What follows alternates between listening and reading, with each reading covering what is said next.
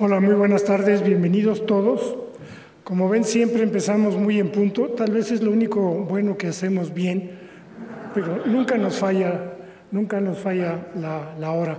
Antes de que empecemos, yo quiero que le demos un aplauso a nuestro invitado el día de hoy, un gran tenor mexicano, el maestro Alain Pingarrón, que el año pasado estuvo en Londres en el Common Garden.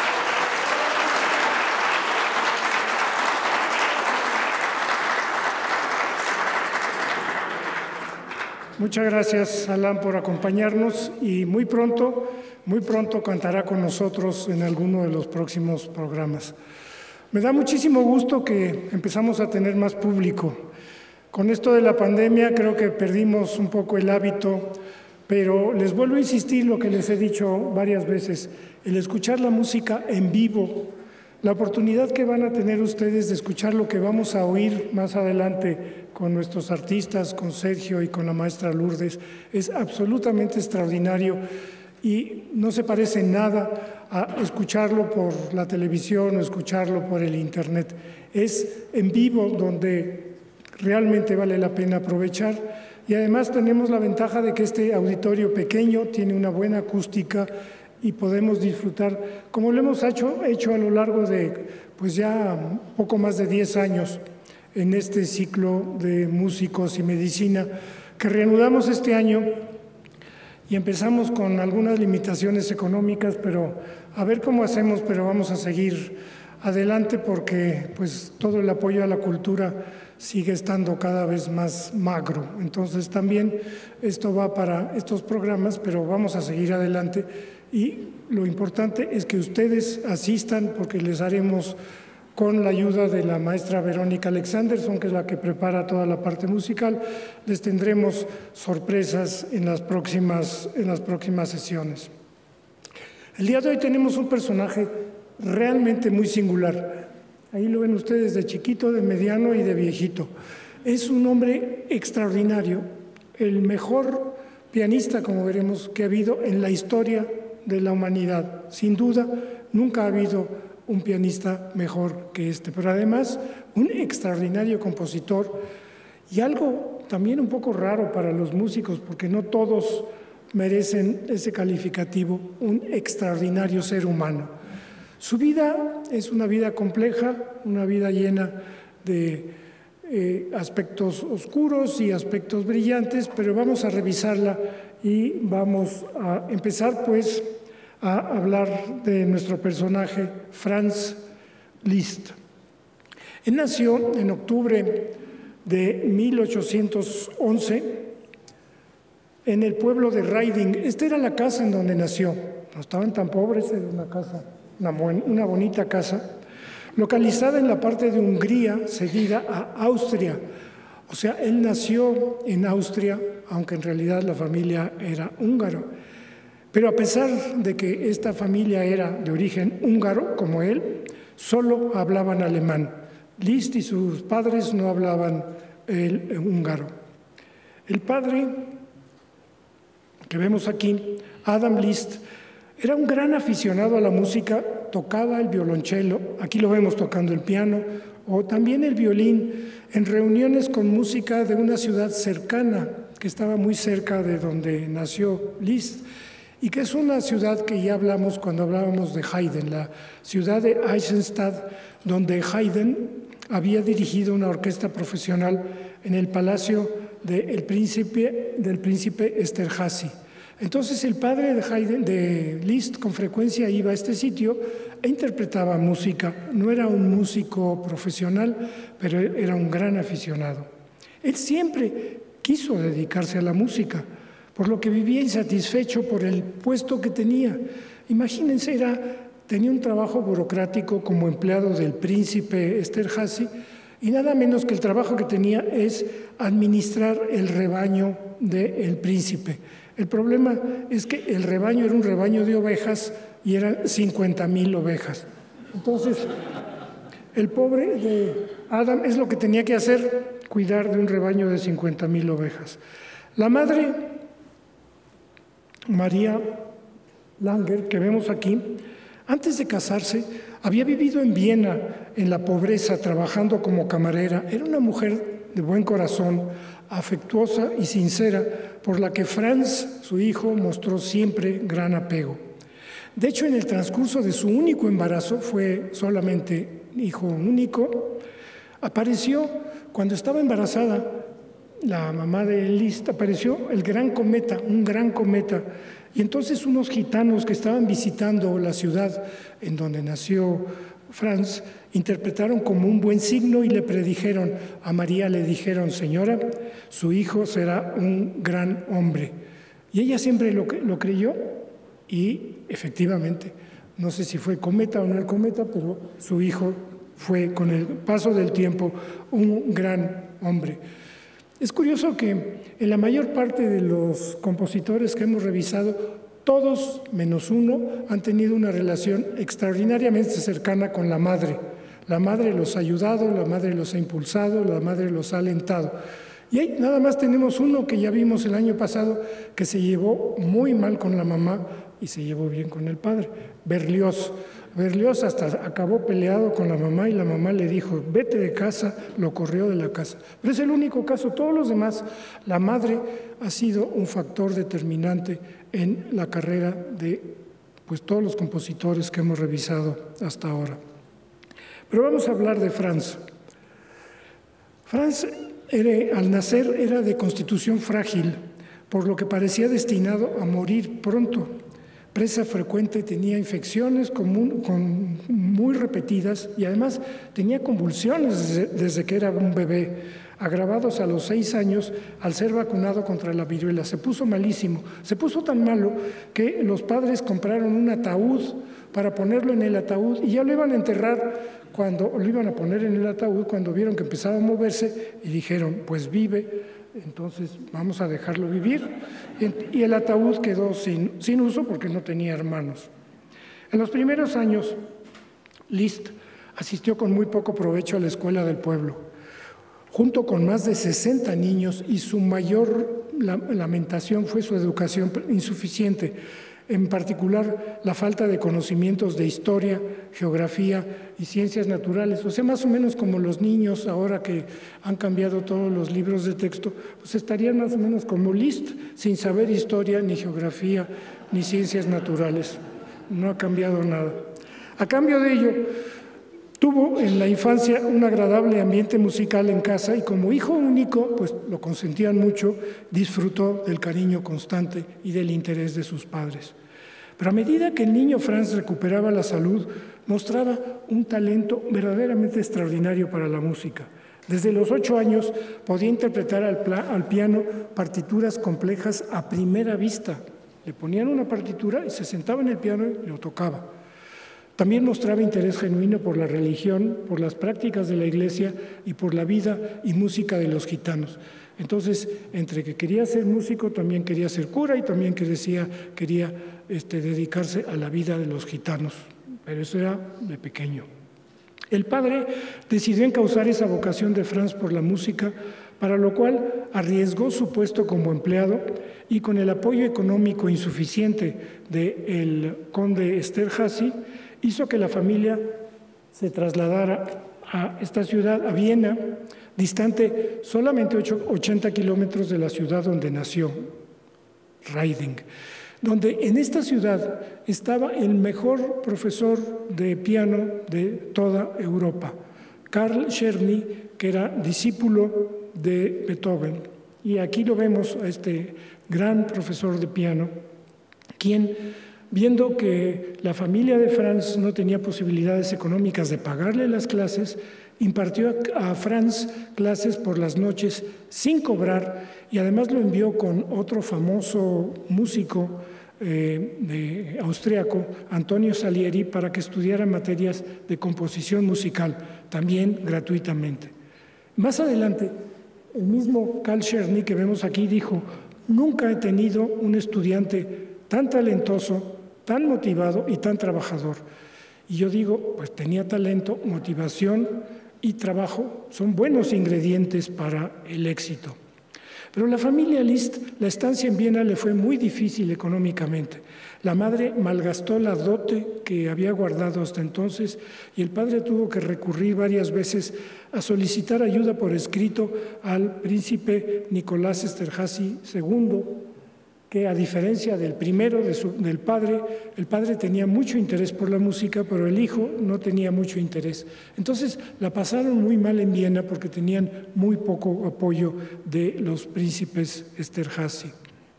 Antes de ofrecer Liszt su primer recital público en Viena, en diciembre de 1822, es decir, a los 11 años, el padre lo obligó, el, profesor, perdón, lo obligó a cumplir durante 10 meses un riguroso programa de prácticas. O sea, tampoco era un, maestro muy sencillo.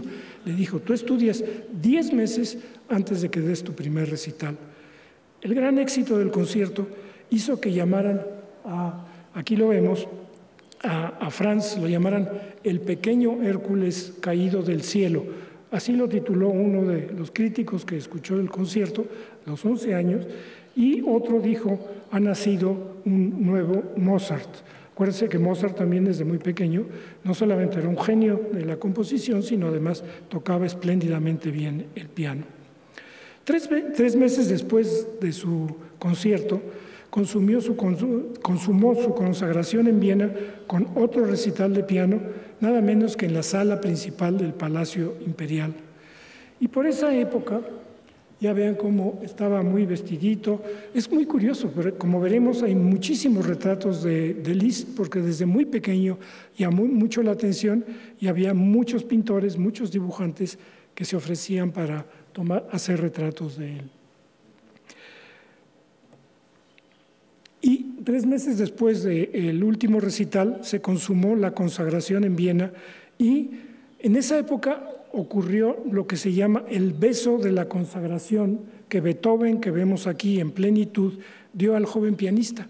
Su maestro Czerny lo cogió de la mano y se lo llevó a Beethoven y le dijo, maestro, aquí quiero presentarle al pequeño Liszt, quien después de escucharlo a petición reiterada de Cherny, le dio un beso.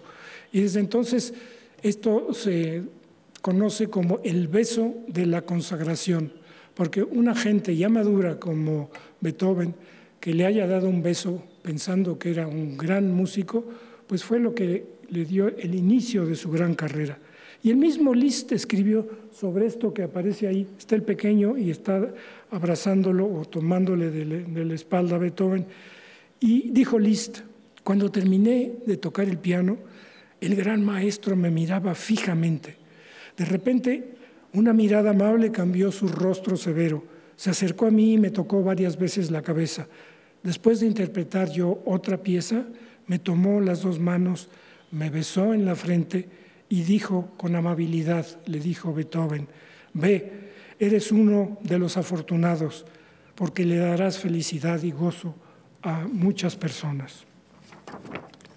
Antes de, viajar a Francia, Liszt presentó un concierto en Hungría, en la ciudad de Pest, y el anuncio decía, ya lo vemos aquí un poco mayor, soy húngaro y mi mayor felicidad es introducir a mi querida patria los primeros frutos de mi educación y de mis estudios. Tal vez llegará a tener la suerte de convertirme en una pequeña parte de la gloria de mi país. Desde sus primeros conciertos, Liszt no se conformó con reproducir música. A la interpretación de partituras conocidas añadía variaciones sobre temas musicales en arreglos o transcripciones que anunciaba de antemano. O sea, la gente que iba a sus recitales no sabía bien a bien qué iba a interpretar ni cómo lo iba a interpretar. Pero después de perder su puesto como administrador del príncipe Nicolaus, o sea, ya tuvo que dejar a las ovejas, Adam Liszt se encontró sin trabajo. Pero pronto fueron los conciertos de su hijo de 11, 12 o 13 años que empezaron a convertirse en la fuente de ingresos de la familia.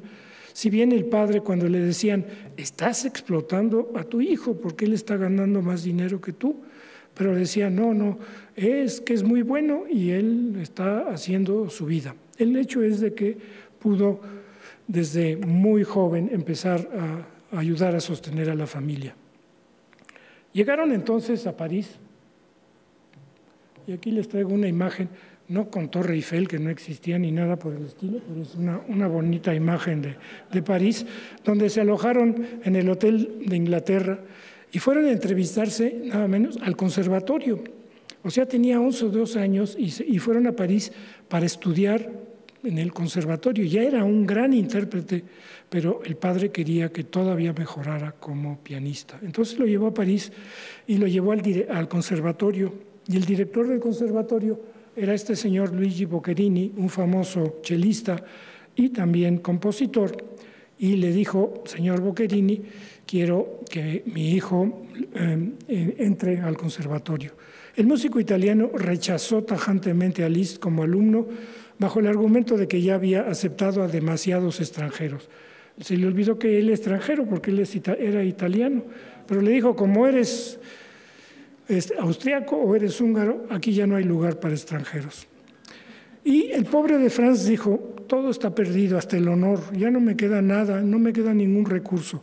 Pero sin embargo, el rechazo no fue obstáculo para que continuara su preparación ahora con maestros particulares. Tuvo además una gran suerte de hacer amistad con los fabricantes de los pianos Erard, ahí viene una placa que dice la familia, la, Erard. Eran unos pianos famosos, así como ahora los pianos Steinway son los famosos. En aquella época había pianos franceses muy buenos de la marca Erard. Y entonces, a partir de entonces, los Erard le proporcionaban a Liszt pianos, en ocasiones varios, porque como veremos más adelante, a veces tocaba tan fuerte los pianos que los destrozaba. Entonces necesitaba ir a los, ir a los recitales con varios pianos, porque si no resistía uno, pasaba al segundo, y si no resistía el segundo, pasaba al tercero. El pianista adolescente viajó luego a Inglaterra. Miren qué elegante estaba allá, lo pusieron muy guapo, con los ojos muy, muy grandes, donde ofreció recitales en varias ciudades. Ya se había convertido en un pequeño adolescente adorado por las sociedades. Era muy simpático, era muy agradable y además era un genio del piano. En el, y fue nada menos que a tocar al castillo de Windsor con gran éxito al rey eh, Jorge V. Dos años después ya era considerado como uno de los virtuosos del piano más grandes de Europa y además sus composiciones contribuían a exaltar su fama. No se dedicaba solo a tocar el piano mejor que nadie, sino también empezaba a producir música. Pero el primer gran dolor de su vida lo sufre a esta edad, a los 16 años, cuando fallece el padre por tifoidea, mientras él estaba en gira. A partir de entonces, Liszt tiene que asumir el papel de sostén de la familia con una salud inestable porque ya estaba cansado de tanto trabajo, estaba dando vueltas por toda Europa y a pesar de estar joven y estar fuerte, pues estaba, acuérdense que de pequeño había sido muy débil, se cansaba por los interminables viajes y además tenía serios problemas financieros, no era muy ducho con las cuentas y entonces tuvo que vender alguno de sus pianos Erard para seguir y dar clases de piano además para seguir dando sustento a, la madre sobre todo. Pero le entra el amor y se enamora de una de sus alumnas. Pero pues también, ¿a quién se le ocurre? Se enamora de Caroline de Sand Creek, de su misma edad, de 17 años, pero era la hija del ministro de Comercio de Francia. Y entonces el, ministro, cuando se enteró, lo corrió de la casa, nunca más pudo volver, y obligó a su hija Caroline a casarse con un rico tenateniente. Dijo, no, no, no quiero que estés jugando, tú te me casas y ese señor que toca el piano que se vaya de casa. Y lo corrió. Franz cae por ello en una profunda depresión a tal grado que algunos diarios publicaron la falsa noticia de su muerte. El pobre se puso muy triste. Con dificultad, su madre y su confesor lograron convencerlo porque ya quería hacerse cura. Y dijo, no, yo no sirvo para esto de de, tener novias, entonces mejor me voy a hacer sacerdote. Y aquí lo vemos en esa época, ya inclusive hasta color, ya que desde muy joven, como habíamos dicho, Liszt había mostrado atracción por la religión y la iglesia rezaba muchas horas y sufría de manía religiosa, por lo que había acariciado realmente seriamente la idea de eh, ingresar al sacerdocio. Sin embargo, ocurren los eventos de la Revolución en 1830 que lo sacan de su letargo y su madre Mariana dijo, fueron los cañones los que curaron a mi hijito. En París, Franz Bora, la literatura francesa contemporánea, asiste a reuniones liberales como la que vemos ahí. El que está tocando el piano es Liszt. Eh, la, persona que está así como en éxtasis es la compañera de, Chopin. Y arriba, abrazándose, está Rossini con eh, el violinista Niccolo Paganini. Los demás son también otros eh, famosos, Víctor Hugo y un famoso, otro famoso eh, poeta francés. En ese año, las diabólicas interpretaciones del, del violinista Niccolo Paganini, del que ya hablamos aquí, y que supuestamente tenía, tocaba tan maravillosamente el piano que la gente decía que tenía un compromiso con el, con el diablo, y entonces causaron gran impresión a Liszt y influenciaron su obra y su estilo de, interpretación al piano. Fue cuando empezó, cuando vio cómo tocaba Paganini el, el, violín, él dijo, pues yo voy a tocar así el piano, y empezó a tocarlo como nadie nunca llegó a tocar el piano. A los 21 años, pues le vuelve el amor y conoce a una rica aristócrata, la condesa Marida Gould, casada, con, casada, eh, se mete en problemas, con un oficial de la caballería francesa, con la que inició una complicada y en, ocasiones tormentosa relación que duraría 12 años, con la que y, durante los cuales tuvieron tres hijos. El único retrato que conseguí de los hijos, que no está muy bueno, es este. La, una de, la primera, Blandine Rachet, se casó con un abogado que llegaría a ser ministro de Napoleón III. La segunda, Cosima, vamos a hablar de ella, nacida en Bellagio, fue primero esposa del pianista y director de orquesta Hans von Bülow y luego de Richard Wagner, ya lo veremos. Y el más pequeño, Daniel, estudió lenguas clásicas. Pero cuando la relación con la condesa Dagul se, se deterioró, que la que vemos aquí, ella, en venganza y por despecho, escribió una novela titulada Nélida, en la que representa al pobre de Liszt como un pintor impotente. Pues no, era tan impotente porque ya le había hecho tres niños a la señora. En 1839, al desbordarse en Hungría el Danubio, se produce una grave inundación que destruye casas y crea hambruna. Liszt decide colaborar ofreciendo 10 recitales, con lo que reúne la mayor cantidad de dinero que Hungría había recibido hasta entonces de una fuente privada. Ahí está una manifestación de que era una gran persona. Cuando supo que su país estaba en problemas, se puso a dar 10 recitales gratuitos y todo el dinero se lo dio al gobierno de Hungría. Poco después se enteró de que estaban tratando de hacer una estatua de Beethoven en Bonn, que es esta estatua en, la capital de Alemania, y que estaba a punto de cancelarse esta estatua porque no había dinero. Liszt inició otra serie de conciertos y consiguió el dinero suficiente para completar la estatua. Entonces, era tan buena gente que le decían, oye, una inundación, van recitales, oye, la estatua de este, van, recitales. Y durante toda su vida se dedicó a ser muy generoso. Entre los 28 y los 30 años, ya lo vamos a ver más grandecito, aquí lo vemos ya muy elegante, Franz dedica el tiempo casi íntegramente a su carrera de pianista al ofrecer más de mil conciertos en diez países europeos. Con éxito sensacional y reacciones del público femenino, las señoras se volvían locas, no muy diferentes de las provocadas en la actualidad por los famosos, más famosos cantantes de rock. Al sentarse al piano, Liszt llegaba con muy elegante, muy bien peinado, llegaba con guantes cogía los guantes así despacito, dedo por dedo, y se los aventaba a las señoras. Y entonces las señoras se lanzaban entre sí, ahí están, y se peleaban y se, sacaban, se agarraban del moño tratando de quedarse con los guantes de Liszt. Y así era un recital tras otro, tras otro, tras otro. Mil recitales en muy poco tiempo. Y por todo ello, a Liszt se le puede considerar como el primer artista pop de la historia. A los 30 años, aquí lo vemos ya un poco mayor, ofrece en Berlín una serie de sensacionales conciertos que inician la época de la listomanía. En Europa ya se convirtió algo así como, qué sé yo, el, alguien, cualquiera que ustedes piensen, un artista de rock que haya provocado una gran manía. Durante años Liszt provocó esta manía y en alguna ocasión en Berlín el triunfo fue tal que lo despidió una enorme multitud como si fuera un rey, nada menos que en la avenida principal de Berlín, que es la avenida de los Tilos o el Unter den Linden, que es la principal de la ciudad. Y más tarde fue a Rusia, y en Rusia le fue tan bien que recibió condecoraciones y muchos regalos.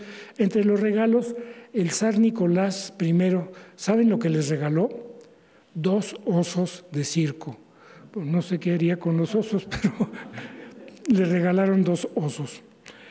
En su viaje al país natal, a Hungría, Liszt es recibido no solo como el húngaro más famoso, de la época, sino también como el símbolo de los anhelos independentistas del país frente a la dominación austriaca. Por si fuera poco, no solamente era como un artista pop, sino que además era el húngaro más importante para Hungría. Representaba como la reacción de Hungría ante la dominación austriaca y representa, se presentaba con vestimentas folclóricas, como lo vemos ahí en uno de los retratos, e interpretaba una famosa marcha, la marcha Rakotsky, que fue prohibida por las autoridades austriacas. Fue entonces cuando escribió las famosas rapsodias húngaras que recuerdan melodías húngaras. Mientras tanto, los tres hijos vivían en París con la tutela de la mamá, la mamá se encargó de los niños, la condesa ya no quiso saber nada de los niños y estuvo separado de sus hijos durante muchos años. Aquí lo vemos, una de las muchas caricaturas que le, le hicieron, que era extraordinariamente famoso en toda Europa, pero particularmente en Hungría era verdaderamente un héroe nacional. A partir de los 36 años,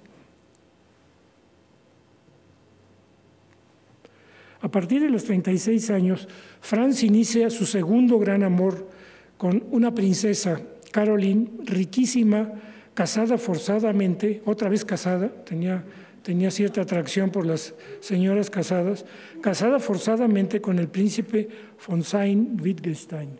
Y que la vamos a ver aquí, ahí está Carolina von Sayn-Wittgenstein. Ella había heredado de su padre grandes propiedades ¿Saben en dónde? Justamente en, cerca, de, cerca de, de, Rusia, en Ucrania. Era una gran condesa ucraniana y se conocieron justamente en Kiev, en una de las giras de Liszt por Rusia y por Ucrania. Tan pronto se enamoró de Franz, Caroline inició un proceso legal para divorciarse, asunto que nunca llegó a completar porque el marido no quería perder la fortuna eh, de ella en caso de separación. La señora Caroline era tan rica que tenía una propiedad. ¿Saben cuántos sirvientes tenía en Ucrania? 30 mil. 30 mil sirvientes, no sé qué hacían los sirvientes, pero tenía 30 mil sirvientes a su servicio y, pues, no sé, con razón estaban enojados los señores. Además de su talento natural, sobrenatural, no natural, sino sobrenatural como intérprete del piano, Liszt fue un compositor extraordinario. Pero antes de eso vamos a ver cómo pasó el tiempo por Caroline, que seguramente era, era guapa, estaba casada y siguió casada todo el tiempo, no se pudo divorciar, que el marido de tonto dijo, dejo a esta señora y caigo en la pobreza, entonces se quedaron casados todo el tiempo. Y aquí los vemos, a Carolina ya un poco mayor, bastante mayor, y aquí la vemos en otras fotografías ya bastante más viejita. Además de su talento sobrenatural, Liszt. Liszt fue un gran compositor y un extraordinario innovador. Estableció para siempre las presentaciones musicales de un solo intérprete sin ayuda de otros músicos. Inventó el término recital.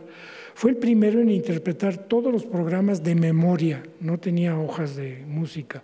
Fue el primero en tocar todo el repertorio pianístico conocido hasta entonces y fue el primero en poner el piano en dirección perpendicular al público.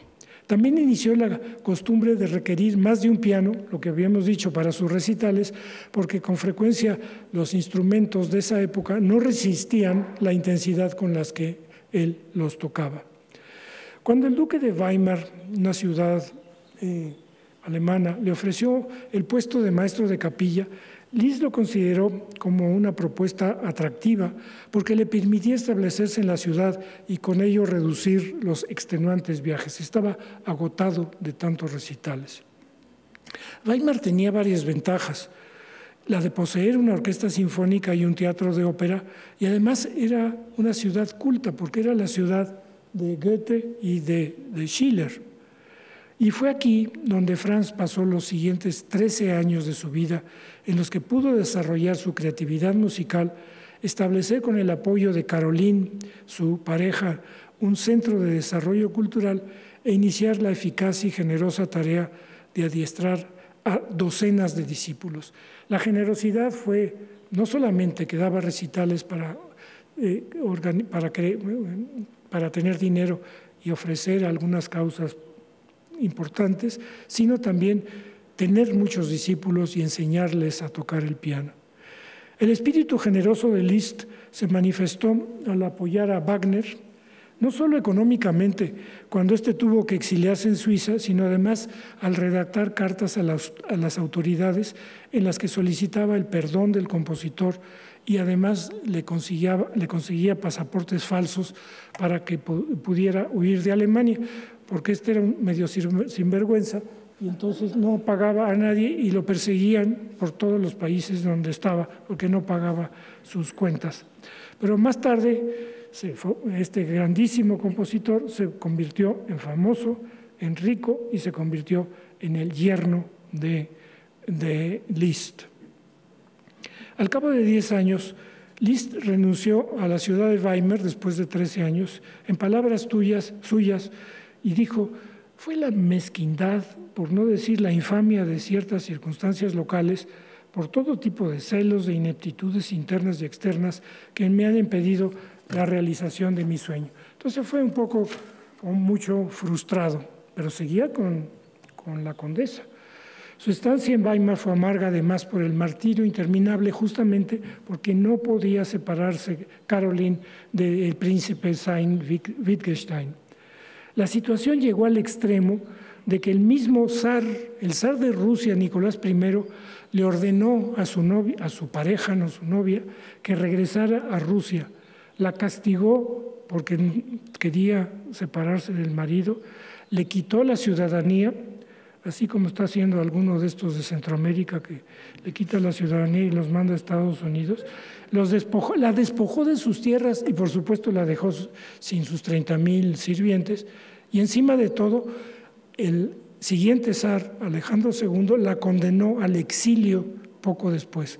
O sea, la dejaron pobre, le quitaron la nacionalidad rusa y la condenaron al exilio. Todo porque quería seguir con su amigo Franz y no quería separarse. En 1860, Caroline, la, novia, viajó a Roma para pedirle al Papa Pío IX o que vemos aquí, la anulación de su matrimonio. O sea, fue hasta el mismo Papa a decirle, por favor, Papa, ayúdame. Al cabo de 18 meses, también allá la burocracia es más o menos como la nuestra, 18 meses tardó el Vaticano en dar un dictamen favorable. Y entonces Franz se puso feliz y se fue a Roma, dijo, ahora sí me voy a casar. Sin embargo, la historia no concluyó. Justo la noche anterior a la boda, ya tenían el vestido, tenían la, toda la, cena o la comida, tenían todo listo, y llega el día anterior a la boda un emisario del Papa con la orden fulminante de suspender el casamiento de Franz con Caroline. ¿Qué pasó? Pues que los poderosos, seguramente los rusos, influyeron al Papa y le dijeron, tú le das la anulación de su matrimonio y te metes en problema. Entonces se quedaron con el vestido de boda y con el banquete. A las angustias de su fallido matrimonio y a la temprana pérdida de su hijo Daniel, el pobre Danielito murió a los 20 años, se sumó el fallecimiento de su hija Blandín al dar a luz su primer hijo. Y pronto ya nada más le quedaba Cosima. Aquí la vemos, pero esta fue mala, mala pécora, ya veremos, su otra hija. Le causa una gran pena, abandona al director Hans von Bülow, que era el director de Wagner, era el director que hacía todos los estrenos de Wagner, y Wagner no solamente no lo agradeció, sino que se quedó con su mujer, se quedó con, con Cosima. Y además Cosima se convirtió al protestantismo para irse a vivir en Amaciato con Wagner. Y ahí los vemos cogidos de la manita. La señora es Cosima Liszt, la hija de Liszt, y el señor ese, que en realidad era medianano y tenía una cabeza muy desproporcionada, era bastante, ya lo veremos la próxima vez, que era este, un gran genio, pero no, no era muy buena persona. Los esfuerzos de Liszt por convencer a su hija y a Wagner son en vano. Franz decide casarse en Roma y empieza a visorar la posibilidad de trabajar, decide quedarse, no casarse, y empieza a visorar la posibilidad de trabajar para el Vaticano agotado por las circunstancias, se recluye dos años en el monasterio Monte Mario, en las afueras de Roma, tiempo durante el cual establece amistad con el Papa Pío IX. Y se ve este sitio, pues nada tonto, estaba ya cansado, no podía casarse, ya el Papa le había dicho que sí, después le dijo que no, y entonces se, a, se va a Roma, y entonces a los 54 años Liszt se convierte en abad título que no le obliga al celibato, pues muy astuto, se fue a la iglesia, pero podía seguir teniendo a su compañera, por lo que la historia de su conversión, que había sido un acto para huir del matrimonio, no tiene sustento. En realidad, él no se convirtió al sacerdocio, simplemente se convirtió en abad. Cuatro años después, inicia una vida bifurcada y empieza a viajar de Roma a Weimar de regreso y ahora a Budapest, a su tierra, a Hungría. Aquí lo vamos a ver cómo va pasando el tiempo. Aquí lo vemos ya un poco mayor, todavía es un, pues un, un hombre apuesto, aquí ya un hombre mayor. Y se dedica en estas tres ciudades a la labor docente en la que logró ser uno de los más grandes maestros de su generación, alimentar el concepto de clase magistral o masterclass. Y según uno de sus alumnos, solo estar en el mismo cuarto con Liszt hacía de nosotros mejores pianistas. Como digo, va a su tierra, Budapest, que vemos aquí. Sus estudiantes formaban parte de un grupo unido socialmente como miembros, eran como miembros de una gran familia. Franz Liszt no tenía método de enseñanza, eran sus propias interpretaciones las que generaban provecho entre quienes lo escuchaban. Insistía más en la interpretación que en la técnica misma y respetaba las individualidades de cada alumno. Un rasgo más de su generosidad es que nunca cobró por sus enseñanzas, siempre sus clases eran gratuitas. Ahí lo vemos, ya se ve bastante mayor con el pelo largo en medio de sus alumnos. A medida que Liszt envejece, sigue viajando incansablemente, imparte clases, promueve música de otros compositores. En Budapest actúa como consejero del emperador, pero sus magras finanzas empiezan a empeorar. Y ahora, por el donativo, lo poco que le quedaba, lo da porque le dijeron, hay ahora una estatua, que están haciendo una estatua de Bach en la ciudad de Eisenstadt y no hay dinero para y ahí va, y él todo el dinero que tenía lo da para que hagan la estatua de Bach. Y a diferencia de la música viva y exuberante de su juventud, en la vejez sus composiciones se vuelven obscuras y depresivas, con poco éxito inicial entre el público, pero consideradas por musicólogos como la prefiguración de la música moderna del siglo XX. En su juventud, La, salud, la buena salud de Liszt fue interrumpida en varias ocasiones por episodios de fiebre alta y escalofríos. Le daban medicamentos homeopáticos o grandes cantidades de quinina, por lo que yo sospecho que lo que tuvo en varias ocasiones fue paludismo. De hecho, vivió en sitios que, eran, que tenía paludismo en aquel entonces. Y su salud fue mermando por el consumo de alcohol. Pero miren quién le manda.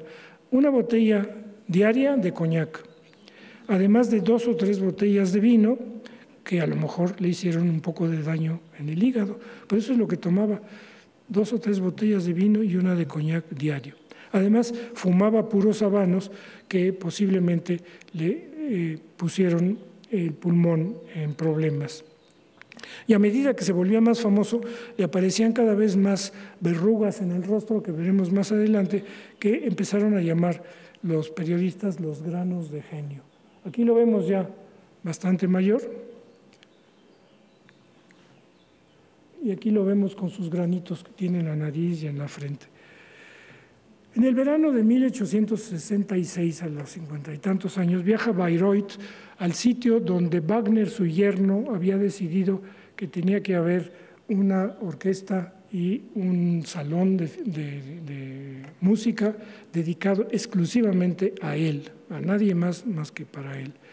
Y su hija Cosima, que estaba pues sí casada con, con Wagner, le dijo, oye padre, como tú eres muy famoso, quiero que vengas a Weimar para dar realce a el festival de mi esposo Wagner. Y entonces, pues el pobre viejito, que ya estaba muy cansado, se mete al tren y al viajar una noche en el tren, una corriente de aire frío entra al camarote por la ventana abierta y estaba listo junto con dos jóvenes discípulos. Y la ventana estaba abierta, entonces le dio mucha pena a Liszt decirle cierren la ventana porque tengo frío. Y entonces empezó a tener una neumonía.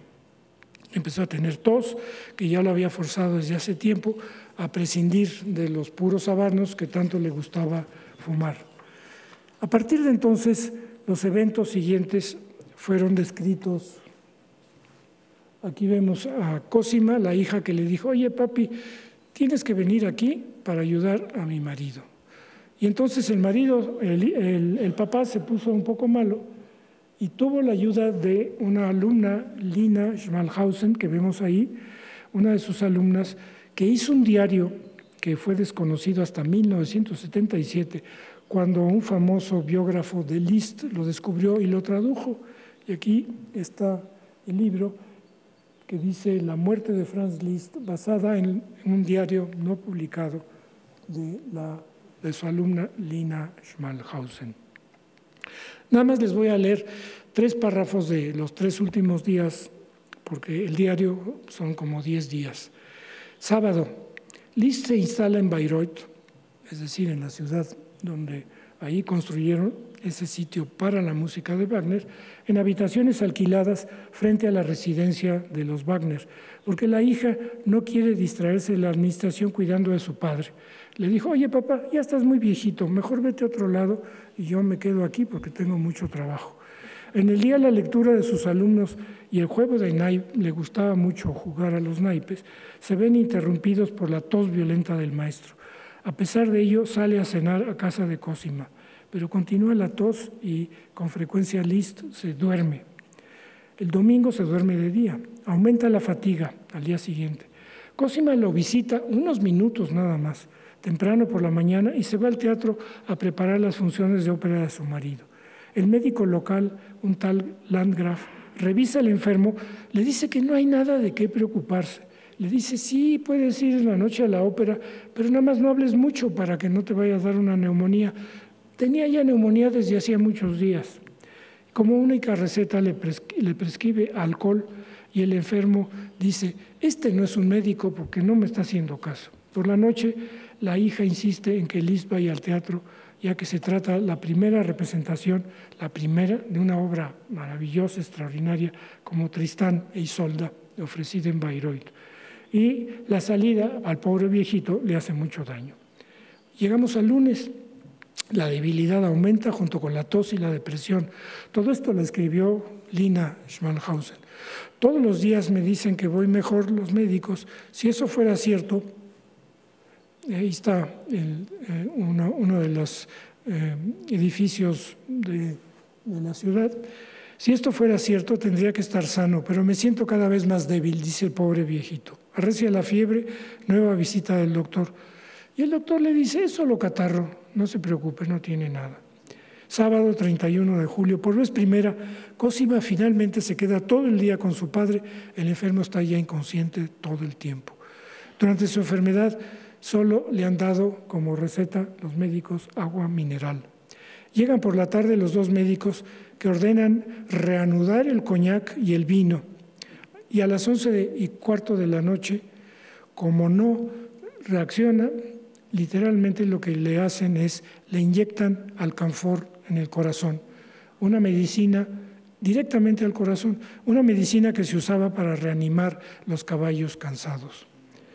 De inmediato el enfermo sufre violentas convulsiones y al finalizar estas lo acomodan en la cama y se van los médicos sin decir nada, nada más le pican el corazón, le inyectan alcanfor y se van.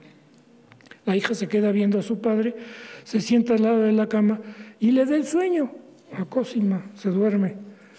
El registro oficial de la muerte indicó justo el momento en que los médicos inyectaron al corazón de Liszt. O sea, los médicos mataron a Liszt y Cosima lo vio, se le quedó mirando y se durmió junto a él toda la noche hasta el día siguiente. Su biógrafo, Alan Walker, que es un gran, un gran biógrafo, un gran historiador, dijo, aquí vemos la máscara mortuoria del pobre de Liszt, lo más probable es que las mismas personas encargadas de ayudar a Liszt lo despacharon de esta vida, y todo en presencia de su hija Cosima. Por lo relatado, el fin de Liszt es una historia triste de abandono, de negligencia médica y de indiferencia familiar. Si los dos médicos aceleraron o causaron la muerte, no lo sabremos. De cualquier forma, fallaron de varias formas al dar un diagnóstico equivocado, al no aliviar su sufrimiento y al proporcionarle un tratamiento equivocado. El enfermo estuvo abandonado y maltratado en sus últimos días, aunque parte de la culpa haya sido de Cosima, los médicos no mostraron, eh, mostraron una ausencia injustificable de su empatía a su paciente. No importa la época, un médico lo que tiene la obligación es tener empatía a su enfermo, cuidar al enfermo y cuando no hay otro remedio, darle ánimos. Por instrucciones de, la hija Cosima, Liszt es enterrado en este sitio, en el cementerio de Mayrod. Lo querían tener, obviamente, los húngaros, querían que fuera a Budapest, pero la hija, que era bastante tosuda, dijo, no, este se muere, mi padre lo vamos a enterrar aquí porque es importante y para que la gente venga a visitar el sitio donde mi marido da sus óperas. Las insistencias de las autoridades por trasladar los restos a Hungría o a Weimar, en Alemania, se desvanecen ante el firme deseo de Cosima de conservarlos en Bayreuth, donde se encuentran todavía al día de hoy.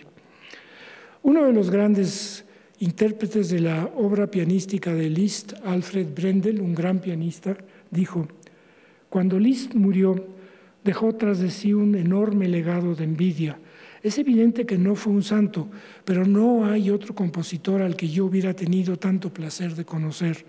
El brillo magnético de su encanto ocultaba un desinterés y una humildad indiscutibles. ¿Qué otro músico ha ayudado con tanta frecuencia y tanta generosidad? Ha reconocido con tanta nobleza a sus colegas, ha compartido con tan gustoso sus dones con ellos. ¿Quién otro habría aportado la amargura del alma, soportado la amargura del alma, las decepciones personales y artísticas del fin de su vida con una dignidad tan imponente? Es necesario abrir los ojos sobre Liszt, quien, según el propio de el ingrato de su yerno Wagner, dijo, sin embargo, Liszt, el más músico de los músicos. Por eso le puse en el título de esta plática, no lo inventé yo, sino fue su propio yerno Wagner quien lo dijo. Vamos a concluir citando a otro de sus biógrafos. La grandeza de la personalidad de Liszt, la amplitud de sus intereses musicales, la asombrosa originalidad de muchas de sus composiciones, junto con la influencia decisiva sobre los músicos de su tiempo, son mejor comprendidas hoy día y mantendrán siempre vigente su obra. Muchísimas gracias.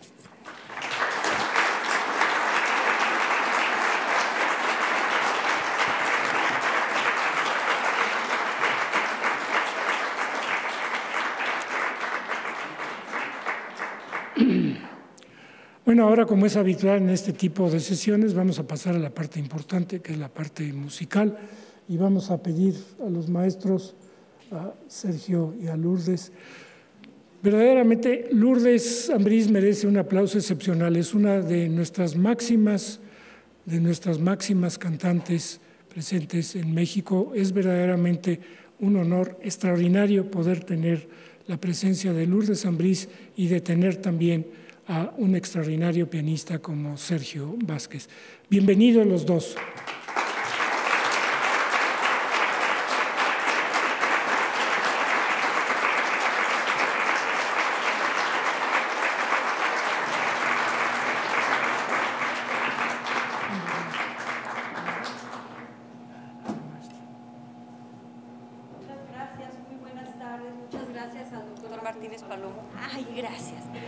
Gracias. Buenas tardes. Muchas gracias al doctor Martínez Palomo por esta invitación. Siempre es un placer escuchar sus conferencias y pues para nosotros participar en la parte musical es un lujo este, y estar en este lugar aquí con todos ustedes. Vamos a, lo primero que vamos a interpretar son los tres sonetos de Petrarca eh, que musicalizó Liszt. Estos sonetos son sonetos amorosos y la, intensidad, la pasión de estos sonetos eh, nos, eh, nos, hace ver la, forma en que Liszt concebía una canción de amor. Eh, la verdad es que sentimos que, son muy representativos del, del, autor, de, la forma como él podía vaciar en la música todos estos sentimientos. No les vamos a, leer todo el poema, vamos a hacer simplemente un eh, breve resumen antes de cada canción, solo para que se den una idea de, todo lo que dice, porque es difícil estarse acordando de tanta cosa, pero si quisiéramos que tuvieran un poquito de contexto del ambiente que, evocan estos poemas y estas canciones. El primer soneto de Petrarca, musicalizado por Liszt, dice, no encuentro paz, al mismo tiempo ardo y soy de hielo, río y lloro, quiero la muerte y la vida. Y todo esto es por ti, amada Laura.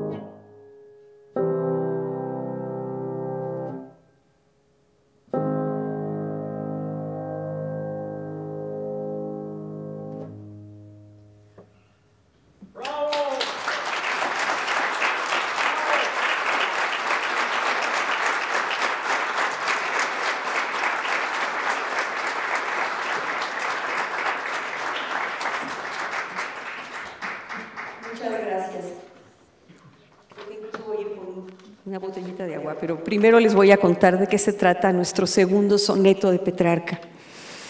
Dice, bendito sea el día, el mes, el año, la estación, la hora y el momento en que vi los ojos de Laura.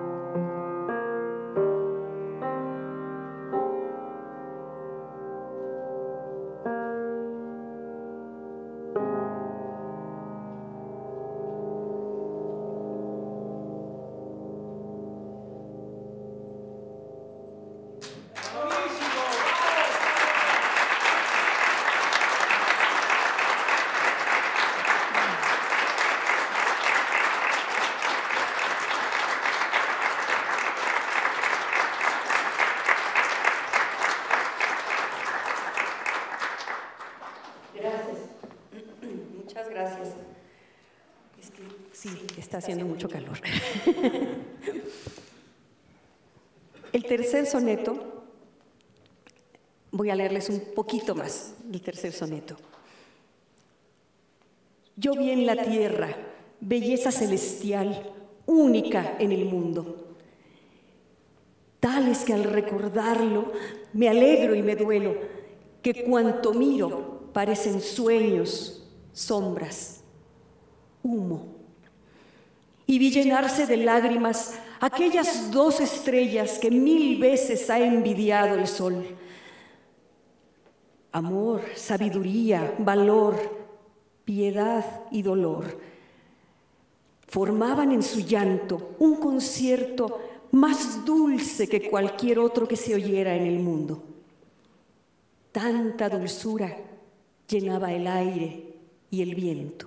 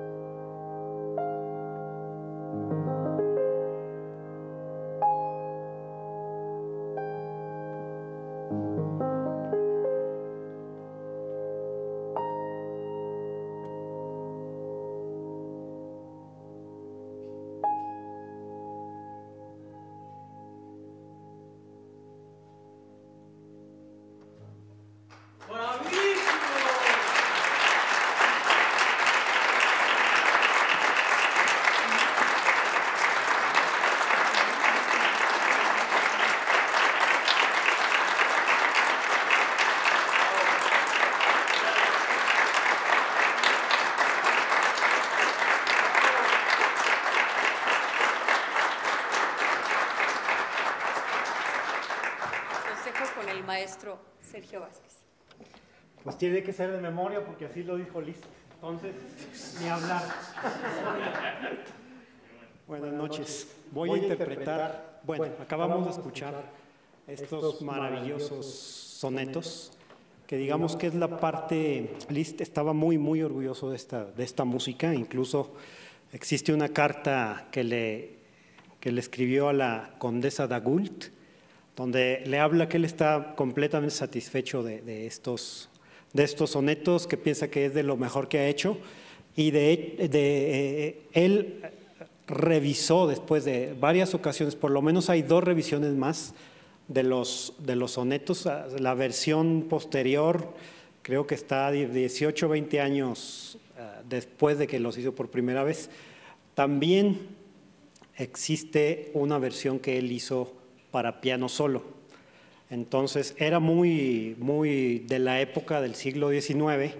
Eh, lo más popular era, eran las óperas y en Alemania el, el, Lied.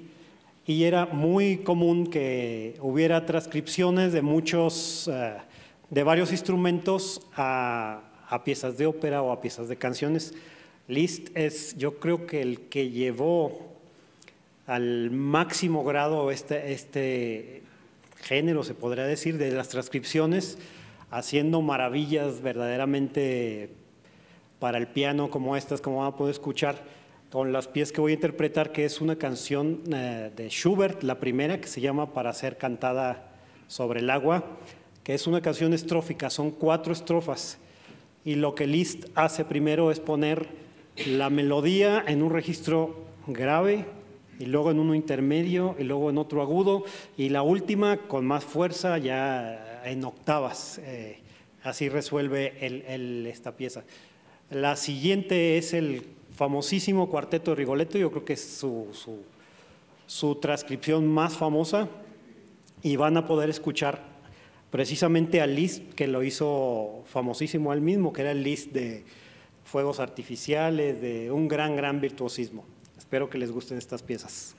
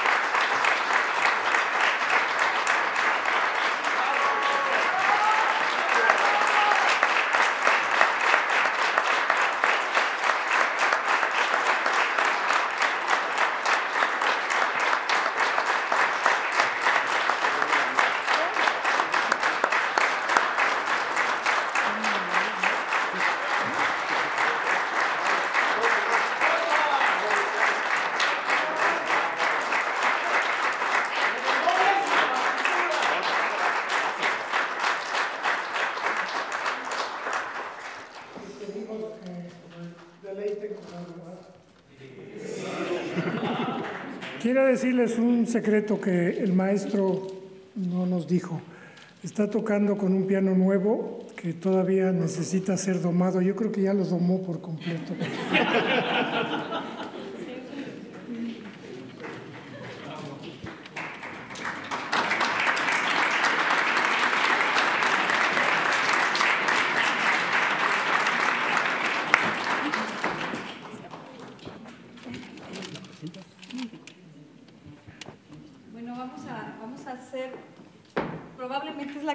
gracias, muchas gracias. Yo creo que probablemente es la canción, esta es la canción más conocida de Liszt. Es, es el sueño de amor. Y es, es toda una lección, es una lección en la vida que todos deberíamos aprender. El poema dice, ama, ama cuanto puedas, todo el tiempo que puedas, lo mejor que puedas. Si alguien te abre su pecho, Hazlo feliz, hazlo feliz en todo momento, pero cuida tus palabras, porque todo se puede destruir en un instante. Aún si no quisiste lastimar, el otro se va y sufre. Por eso, ama, ama cuanto puedas.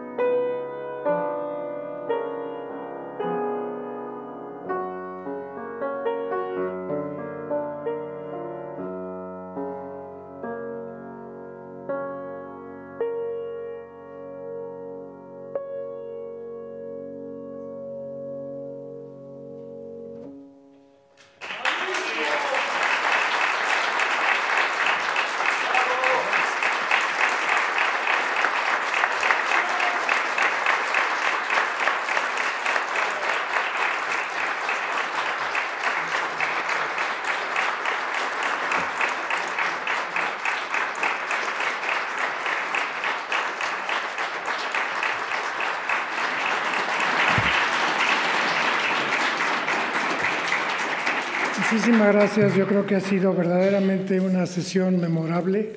Los que hemos asistido a ella nunca lo olvidaremos. Y les quiero leer muy, unas cuantas cosas, nos han escrito de muchos sitios. Nos manda alguien extrañando México que escuchó el programa y lo, lo disfrutó mucho desde Australia. Así es que va un saludo para Australia. Eh, hay muchos, muchos comentarios, solo digo algunos dicen, alimento para el alma, qué belleza. Por supuesto es todo para los maestros, no para lo que yo dije. Soberbia articulación, eso de ser un, experto. Felicidades por tan excelente pro, programa, simplemente genial. Y después voy a decir quién lo dijo, un señor Horacio Carranco. Concluyó de esta sesión, medicina para la mente, música para el corazón. Muchas gracias a todos, maestros. Muchas gracias.